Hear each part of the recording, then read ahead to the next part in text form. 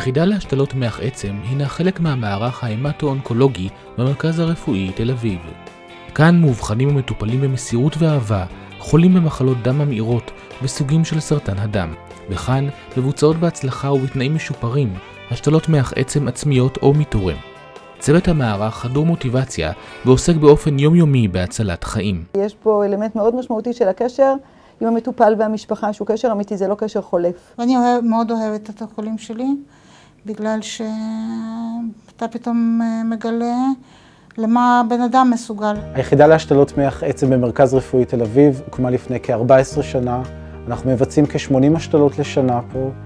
ההשתלות כוללות גם השתלות עצמיות וגם השתלות מתורם. יחידה מסונפת גם למרכז ההשתלות האירופאי וגם למרכז ההשתלות בארצות הברית. לזקוקים להשתלת מח עצם מחכים במערך תנאים משופרים עם צוות מיומן, חדרים מרווחים המספקים הגנה מושלמת מפני זיהומים ומתאימים לשהייה ארוכה. בחדרים אפשרות לארח בן משפחה, מכשיר טלוויזיה וחיבור לאינטרנט.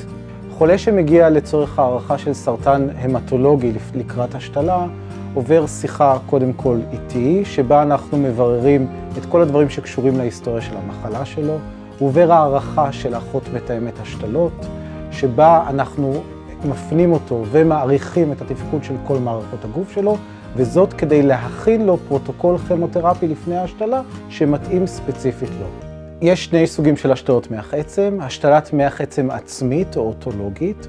זאת השתלה שאנחנו עושים בחולים שיש להם לימפומה או מיילומה. אנחנו צריכים להחליף את מח העצם של החולים במח עצם של החולה עצמו, שנאסף לפני הטיפול.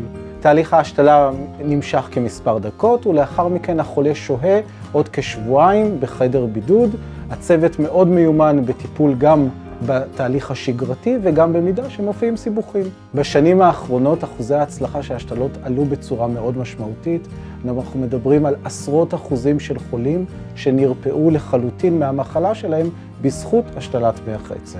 אנחנו ראינו חולים שהסיכויים היו מאוד נמוכים והצלחנו לרפא אותם והם הצליחו לבנות חיים והם הצליחו לחזור לחיים שלהם. אין יותר מספק מזה. השילוב בין התקדמות רפואית שהיא אצה וטסה מיום ליום וכל פעם נפתח צוהר לתרופות חדשות והקשר המתמשך עם המטופל והמשפחה וכל פעם האפשרות להציע לו תרופה נוספת אה, זה שילוב שהוא פשוט יוצא דופן, ועבורי כרופאה נותן סיפוק אה, והרגשה של הצלחה. הרפואה הולכת ומתקדמת, הטיפולים שאנחנו מסוגלים לתת הם מיטביים יותר, ואני צופה שיותר ויותר חולים יעברו השתלות בהצלחות יותר ויותר גדולות.